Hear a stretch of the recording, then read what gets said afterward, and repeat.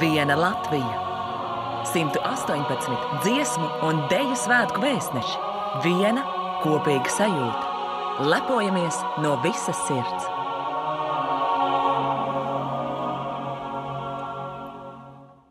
Mūsu ģimenes ikdiena ir, ir pakārtota tomēr uh, mēģinājumu grafikiem, cikos, kad kuram jābūt reāli tās pārsvarā pirmdienas, trešdienas, piekdienas, katram nu, tas ir savs laiks, cikos ir jābūt šeit kultūras namā uz skatuves. Uh, nu, arī koncerti sestdienās ir intensīvāki, gatavojoties dziesmu deju svētkiem. Nu, tad arī tajā mēģinājumu un koncertu laikā nekādas ģimenes svinēšanas netiek plānotas. Tas viss ir, ir, ir piekārtots. Jā, nu, un arī pārējie radinieki zina, ka, ja mums ir jādejo, nu, tad mēs ciemos nebūsim.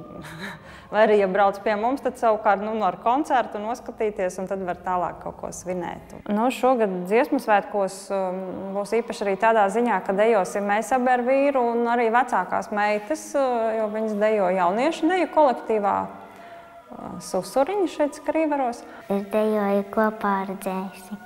Es dejoju tāpēc, ka tur ir mani vecāki.